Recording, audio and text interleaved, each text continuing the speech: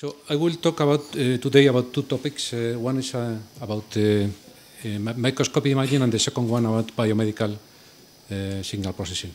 So the, the main topics of our research is, are related with joint representations of and nonlinear image processing, uh, super resolution imaging, feature extraction and classification, texture analysis, denoising and image enhancement, and image quality assessment.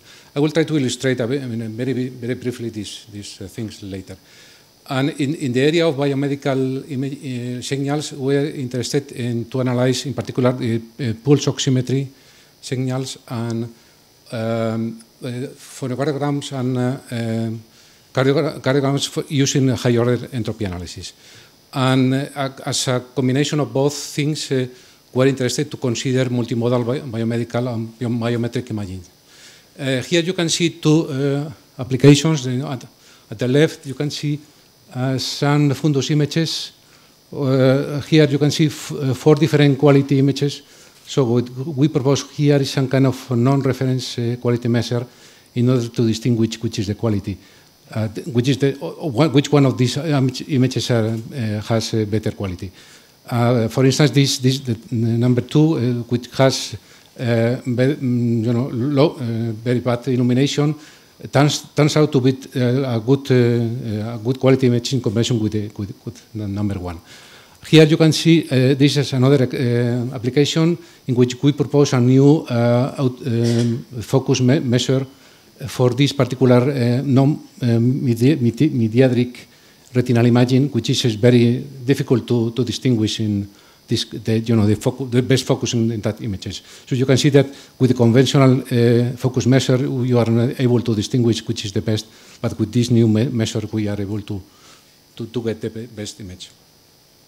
Uh, another application we, we have been involved is using these uh, um, images in pathology uh, we made a, com uh, a, comparison study using uh, analyzing microscopic images and scanner images and using some subjects to, to see which, which one of these devices, and it turns out that scanner performs the best.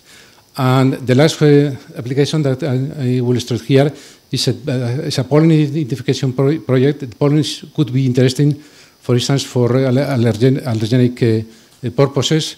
And this is a very difficult problem because you know these kind of uh, organisms are very difficult to distinguish and species are very similar. So uh, here you can see this, uh, you know, very, very brief uh, description that we are doing, this feature extraction, discriminant analysis, and classification. And in, in, in relation with the uh, signals, this is the kind of uh, oximetry signals that we are, here you can see the control and apnea signals, so the, we developed uh, new methods to analyze these kind of signals. And previously we analyzed all these high entropy methods by analyzing these uh, cardiograms and phonocardiograms. Uh, the wish list is the, uh, we are actually, we have a collaboration with people from, from the Brigham and Women's Hospital in, in, Boston, analyzing the, in particular the texture from CT and also the denoising from CT and another collaboration is with one of the uh, past Vision Fellow uh, about the quality assessment of uh, PET.